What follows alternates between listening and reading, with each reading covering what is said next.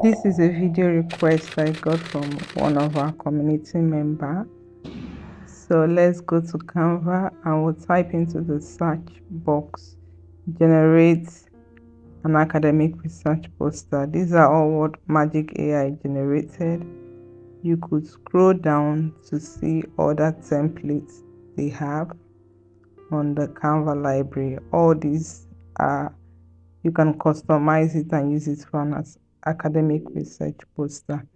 But if you don't quite like what you're seeing here, I'm going to go to create a design and click on custom design to create our own design.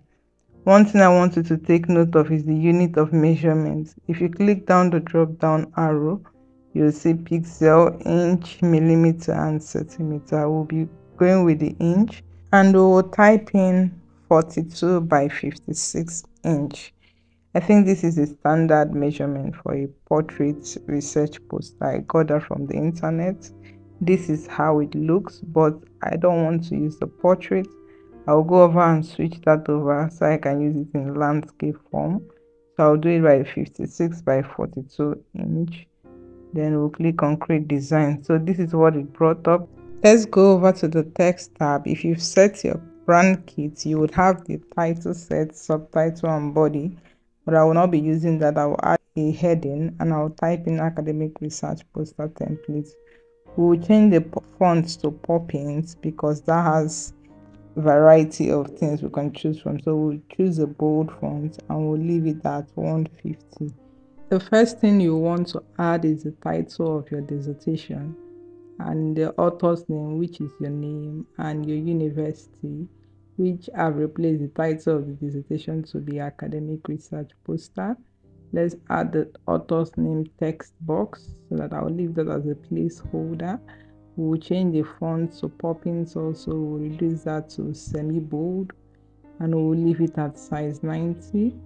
We'll click on that and duplicate and type in the institution you are affiliated with when designing, make sure to align all your text boxes.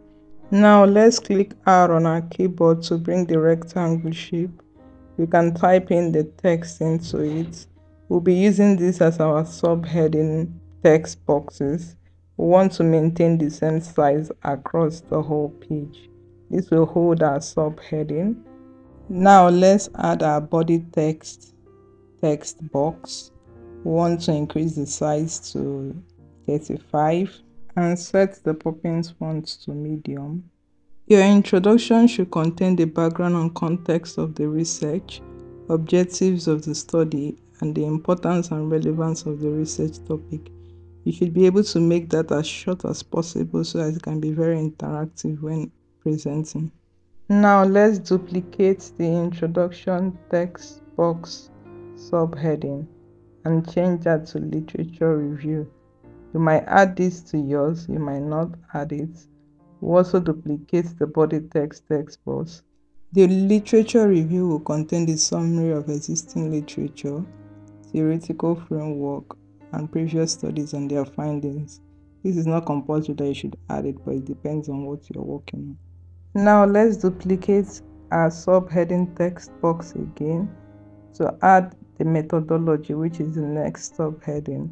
Under the methodology, it will contain things like the research design, which involves the survey, case study, the data collection methods, the sampling techniques, and the data analysis procedure.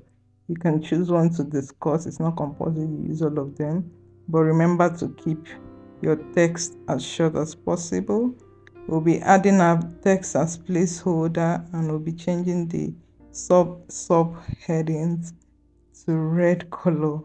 Under the methodology, you might want to add some tables, some charts, some survey results to explain your points better. So we'll be going to the apps on Canva here. I will scroll down and go over to charts to select some of these. We have the bar chart, the line and dotted charts, the interactive chart, the pie chart, the infographics chart, all that, the progression bar, we all have that here. You can click on whichever one you want. Let's pick the pie chart and put that into our design. You can format the data at the left hand pane of your screen, add in data as you want, add input your data, change colors, add what you're measuring with, or you could as well upload a CSV file if you have it prepared, and Canva will prepare that with the data you've uploaded. What is good about this is that when presenting on Canva, you can hover around the pie charts and choose what you're talking about, which is quite good for a research presentation. Let's go back and add a line chart. We're just adding this as a placeholder to just show you what it looks like. If you can expand that, add your data, depending on the data analysis you're using in your methodology, whatever you use, that will determine what choice you're going to pick on what you're presenting. You can change the color of your chart to the color of your choice. Remember to keep your text readable and as concise as possible. The next subheading is the results subheading. Under this results subheading, you have things like presentation of key findings, statistical analysis if it's applicable to your research you did. You can also add tables, graphs. This is the main place to add your chart, your graph, all that you go in and customize it how you want it so either the bar chart you can change the colors of what you're representing and you can as well upload a csv file from your laptop. If you have this data already prepared by another software maybe you use the power bi to prepare your data you can screenshot it and input it into your design. Let's go to the elements tab and pick a random picture of a result and just input it so you see you might want to add a discussion subheading which under the discussion subheading contains things like interpretation of your results comparison with previous studies on implications of findings it's totally up to you to choose what works for your research study and use it in your design. Now let's add a conclusion subheading. Under the conclusion subheading, you have things like this is where you talk about the summary of the study, contributions to the field, future research direction. This is where you discuss all that. You might want to use charts to drive your points home. We will use a funnel chart as a placeholder for this which is also customizable by expanding the data panel and imputing your data. You can as well upload a CSV file. Whichever that works for you, just make your presentation as interactive as possible. or We'll be adding a progress bar. You can use that to show how the progress of your future finding, where you are now and where you want to be in the future. The next subheading we'll add is a reference subheading. This is where you make a list of your citation in a standard format.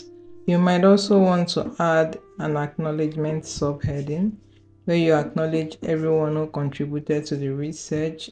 The last text box we'll be adding to our design is our contact information where we'll list our email, we'll mention our website if it's applicable to us, we can also leave our social media handles. After you've gotten all the information into the page, you will start to align your text box, your design. If you've noticed, we maintained only three colors in our design. Now let's click on share on the top right of our screen and go over to present. Let's see what our design would look like. You see, you can hover your mouse around if you're presenting with Canva on your charts to say what it is your the values you're discussing which is a beautiful thing if you're using canva to make your presentation but if you're printing you go back to the share button and go over to download and select the file type you want to print as. The standard one for print is the pdf for print but there are different file type you can download that as. We'll download the normal pdf for sharing. For the design, you can also use the magic resize to switch back your design into the portrait format if that's what you want it in. Let's open the design we resized and see what it looks like. You can go back in and start aligning your text properly to be set properly on the page. Leave your questions in the comment section and like this video if you got value from it. Thank you so much for watching and do have a good one